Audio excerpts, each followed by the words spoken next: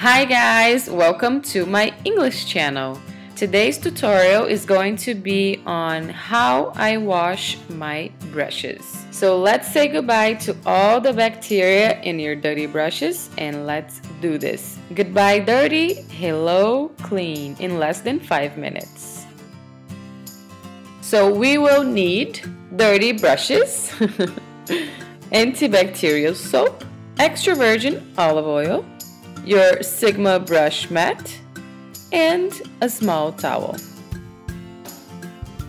So first I'm gonna take my Sigma brush cleansing mat and place it on my sink. And because this mat has so much texture, you can literally clean your brushes in 5 minutes. So first step is to wet the brush, always facing down.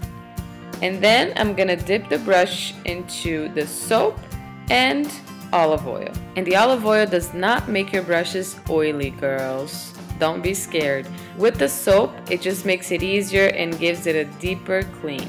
So then basically you're just going to rub your brush onto that texture on round and zigzag motions. And after you do that, just wash the brush again and rinse it really well. So after it's cleaned, you're just gonna dry it a little bit on your small towel and that's it. Now if you don't have a brush cleansing mat or the glove, you can just use your hands. It's gonna take longer, but it will work. And now we're gonna do the same thing again with small eye brushes. I took about five brushes together, dipped it in the soap and olive oil, scrub it really well, and you can see that I'm doing it with all of them together at once, which helps kill time. So on the texture, zigzag round motions, and then we're gonna wash them and it's completely clean.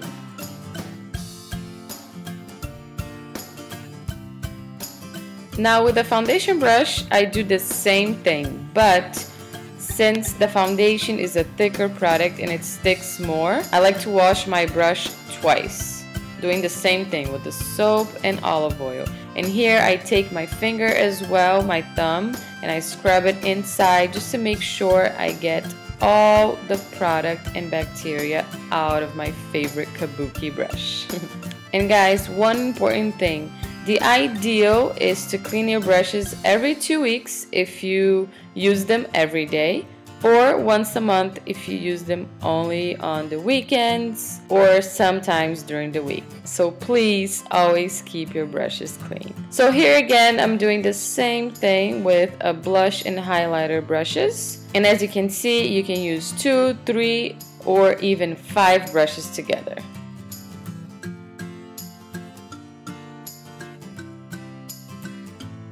So that's it loves. After you're done, take your mat out of the sink and wash it really well to take all that product out of it.